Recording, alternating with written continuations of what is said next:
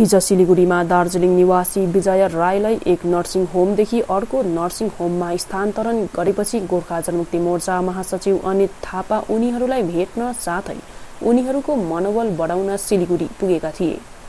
उनले nursing home काण्ड विषय राम्ररी जानकारी लिए साथै यस विपदको समय परिवारको साथमा आफू सदैव खडा रहने परिवार पक्षलाई बताउँदै विजय राईको पति किशोर तामाङ जो जिटिएमा एक गाडी चालक हुन्। अनि छोरी मिङडोमा लामासँग महासचिव अनित थापाले कुराकानी गर्दै आफूबाट हुन सक्ने सहयोग दिने वचन पनि दिएका छन्। पछि परिवार पक्षले एक भिडियो मार्फत महासचिव अनित थापा अनि कर्मचारी संगठनप्रति आभार व्यक्त गरेका छन्।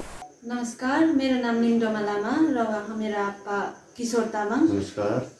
र हामीले पहिला भनेको जस्तै मेरो पेसेन्टको नाम चाहिँ विजया राई हो र पहिला एभलोन हस्पिटलमा राखेको थियौँ र उन्नाइस दिनपछि हामीले जिटिए म्यानेजमेन्ट हेल्प डेस्कद्वारा मद्दत पाएर चाहिँ यहाँ अहिले नाइटिङ्गल नर्सिङ होममा लिएर चाहिँ उहाँको उपचार हुँदैछ।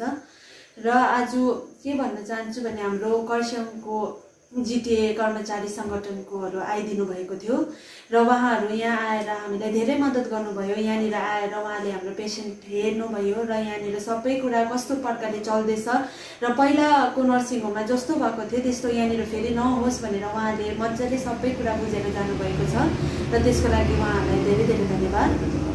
र मेनली चाहिँ आज हाम्रो former chairman Anit Thapa sir आउनु भएको थियो। उहाँ यहाँनिर आएर डक्टरहरूसँग बात मारेर हाम्रो पेसेन्टलाई हेरेर हामीसँग मजाले बसेर हामीलाई सम्झाएर ब बसेर चाहिँ हामीलाई सहयोग पनि पुर्याउनु भएको छ उहाँले र त्यसको लागि हाम्रो सम्पूर्ण परिवारकोबाट अनित थापा सरलाई चाहिँ धेरै धेरै धन्यवाद।